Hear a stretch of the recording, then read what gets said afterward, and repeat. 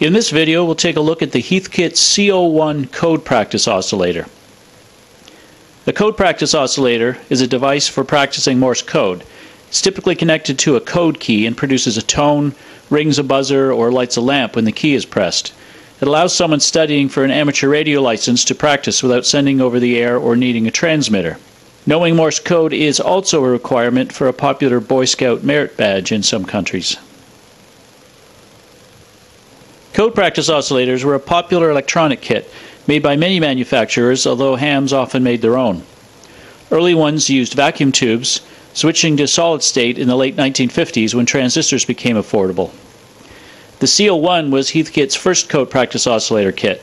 It was offered from 1959 to 1967 and typically sold for US $7.95. It was followed by the HD16 in 1967, which used a different circuit and provided volume and tone controls and headphone jack. This was followed by the HD1416 in 1975.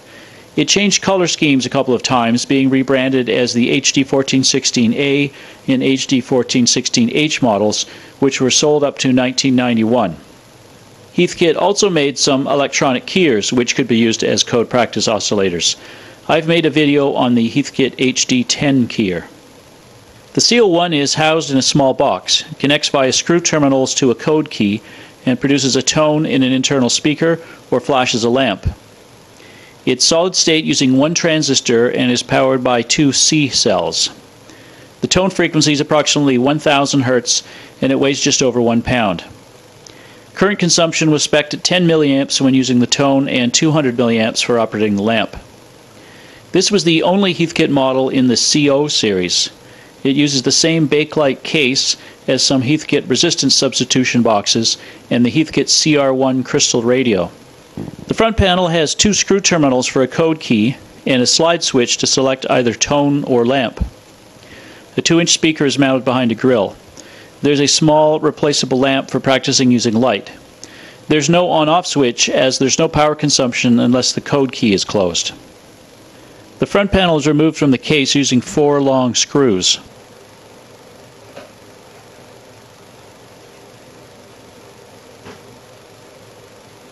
All wiring is point to point using terminal strips, the speaker, and switch. The battery clips are mounted on a small phenolic board. The transistor is in a socket. This was common at the time, late 1950s, early 1960s, when transistors were expensive and less reliable. Power is obtained from two C cells inserted in battery clips. There's a small permanent magnet speaker and audio transformer. The lamp, a number 14 type, is in a screw socket. Operation is simple. You connect a code key and practice sending. Usually you would use the tone position.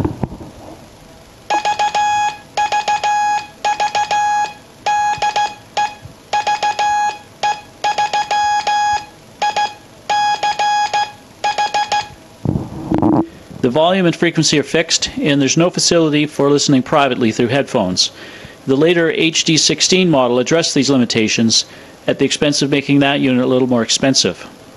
The nominal frequency is 1000 Hz. The measured frequency of my unit was about 840 Hz. As you can see on the oscilloscope, it's nowhere near a pure sine wave, but this is expected for this type of circuit.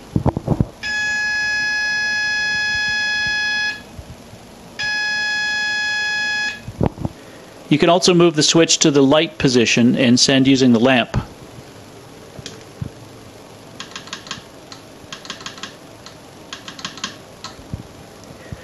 The idea was that if you wanted to practice with a friend, you could send over a longer distance at night using the lamp rather than the speaker.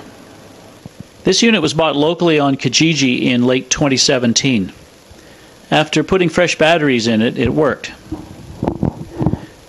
There was a modification that had been made. This metal bracket and a control had been added and wired in to allow adjusting the volume. I removed it and reverted the modifications in order to keep the original design. No holes or other changes had been made to the unit. I found some copies of the complete manual online. All of them seem to be based on the same original manual dated 10 12 1962. Despite the simplicity of the kit, The manual is 20 pages long with detailed assembly instructions, theory of operation, and information on learning and proper sending of Morse code. I needed to add some missing screws and replace the original lamp which had burned out. The original was a number 14 type. I had a similar but not as bright replacement on hand that I used. The design uses a 2N238 germanium transistor. In February of 1964, Heathkit made a design change to use a 2N407, also germanium transistor instead, and to add another capacitor. My unit has the older transistor and is missing the additional cap, indicating that it must have been purchased prior to February 1964. I measured the parts values and they were all within acceptable limits. A 100 ohm resistor across the speaker is missing. I'm not sure why it would have been needed in the circuit at all since the speaker has a much lower resistance of about 8 ohms. It works fine without it, so I didn't add the missing part. One odd thing, I went through a number of Heathkit catalogs that I own, and none of them contained a listing for the CO1 during the period that it was sold. I didn't find any on the internet either. The excellent Heathkit of the Month series by Bob Eckweiler has an article on the HD 1416, CO1, and HD 16 code practice oscillators with more information. When I was studying Morse code for my amateur radio license around 1977, I built my own code practice oscillator and mounted on the side of this key.